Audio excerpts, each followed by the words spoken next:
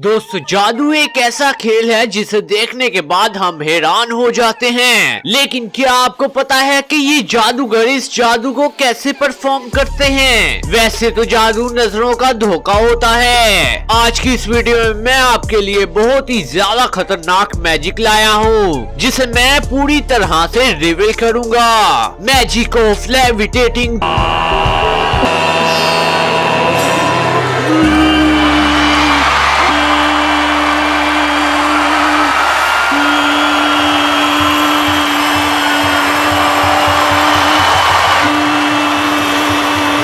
दोस्तों, ये जो मैजिक के बारे में मैं आपको बताने जा रहा हूँ, ये बहुत ही ज़्यादा फ़ेमस मैजिक है। दोस्तों, ये जो मैजिशियन आप देख रहे हैं, इसने ब्रिटेन गोट टैलेंट में तहलका मचा दिया था। इसका नाम डैनी है और इसे स्पेशल हेड भी कहा जाता है। जैसा कि आप वीडियो में देख ही सकते हैं कि ये नॉर्मली वॉक करता हुआ आता है और इसके हाथ में एक डंडा भी होता है। ये फर्श पर पड़े हुए मैट पर आकर खड़ा हो जाता है और कुछ ही मिनटों में ये हवा में लटक जाता है। आप देख ही सकते हैं कि इसके नीचे ना तो कोई स्पोर्ट है और ना ही ये डंडा इतना बड़ा था कि इस पे बैठा जा सके। जिस तरह से ये हवा में लटक रहा था, इसे देखकर ऑडियंस और जजेस दोनों ही शौक हो गए थे। सिर्फ़ इतना ही नहीं, बल्कि वो एक झटके में ही नीचे आकर खड़ा हो गया।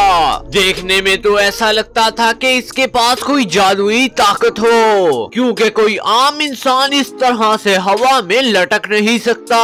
जैसा कि मैंने आपको वीडियो की शुरुआत में ही बताया कि मैजिक वगैरह कुछ भी नहीं होता, बल्कि ये एक नज़रों का धोखा होता है। ये जो मैट आप देख रहे हैं, इसके नीचे एक पूरा सेटअप तैयार था। जब ये छड़ी को सीधा खड़ा करता था तो मैट में मौजूद सेटअप के सहारे स्टेबल हो जाती थी। जब ये छड़ी को नीचे की तरफ़ प्रेस करता है तो इसमें से एक पूरा स्टैंड बाहर निकल आता था, जिसे ये बहुत ही महारत से अपने कपड़ों के नीचे छुपा लेता था। इसके अलावा इसने एक सिटिंग प्लेस भी अटैच की होती है, जिस पर ये आसानी से बैठ सके। जैसे ही ये छड़ी को प्रेस करता था तो इसमें से एक मेटल का फ्रेम बाहर निकल आता था और वो स्पेशल मैकेनिज्म की तरह काम करता था, जिससे होता कुछ ये था कि इसके बाजू के अंदर से होती हुई बैक पर लगी स्पोर्ट से चिपक जाती थी। और ये बहुत ही मज़े लेता हुआ इस पर बैठ जाता है। फिर ये ज़मीन पर दोबारा खड़ा होने के लिए उसी स्टिक को दोबारा से प्रेस करता है, जिससे वो मेटल का फ्रेम दोबारा से छड़ी के अंदर चला जाता है।